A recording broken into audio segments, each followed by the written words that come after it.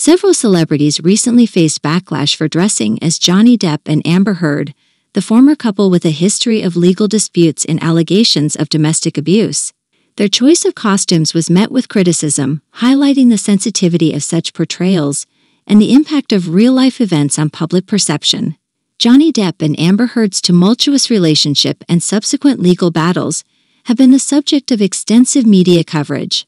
Their highly publicized divorce, coupled with allegations of domestic abuse from both sides, has divided public opinion. In a surprising turn of events, a number of celebrities chose to dress as Johnny Depp and Amber Heard for various costume events. The choice to emulate these real life figures sparked controversy and criticism, given the contentious nature of their relationship and the serious allegations involved.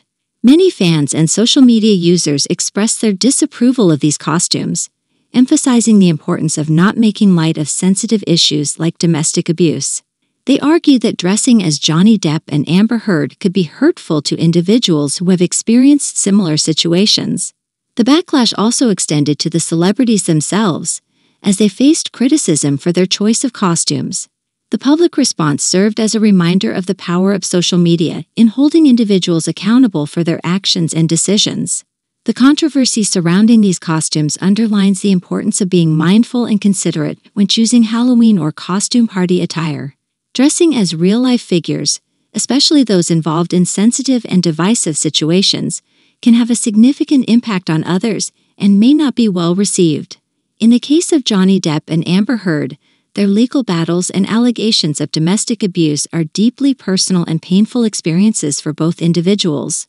Portraying them in a costume or making light of their situation can trivialize the very real pain and suffering experienced by victims of abuse. Ultimately, the controversy serves as a reminder that while Halloween is a time for creativity and self expression, it's essential to be conscious of the potential impact of our choices on others especially when sensitive and painful real life events are involved. In conclusion, the backlash faced by celebrities who dressed as Johnny Depp and Amber Heard for costume events highlights the sensitivity of such portrayals and the potential impact on individuals who have experienced similar situations.